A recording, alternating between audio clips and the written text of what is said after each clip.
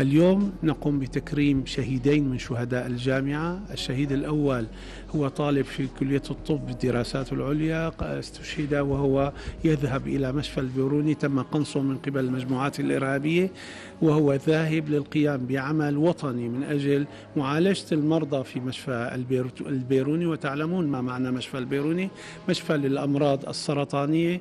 لذلك آثر على نفسه الذهاب إلى منطقة حرستا وتم قنصه من قبل المجموعات الإرهابية. أما الشهيد الآخر وهو طالب في كلية الحقوق فقد استشهد أيضا وهو كان آه، في ضمن القوات الرديفة للجيش العربي السوري في منطقة آه، في مطار الطبقة. استشهد مع زملائه آه، في وهو يدافع عن هذا الوطن كل الرحمة لشهداء الوطن.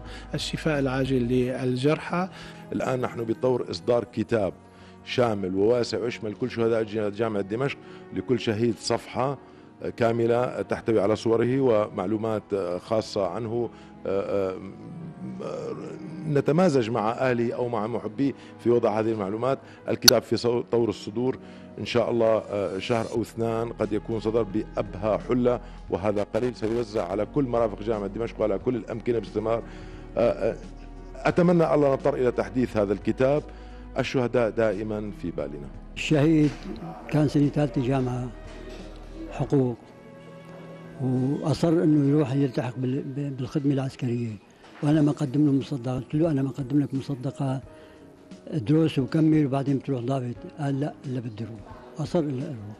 وراح بعدين التحق بالجيش بالفرقة 17 بالرقة. واستبسل هنيك هو وزملائه الحمد لله قدموا تضحيات. فخمة ونحن لولا تضحيات هالشباب اللي راحوا ما كنا موجودين لهالأرض.